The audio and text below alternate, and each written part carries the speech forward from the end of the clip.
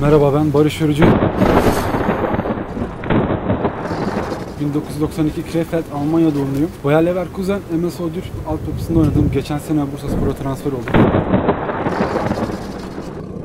Futbolun her yönünü çok seviyorum fakat en sevdiğim yan adam eksiltmek. Bursa Spor camiasına ve taraftarlarına şampiyonluklar yaşatmak istiyoruz.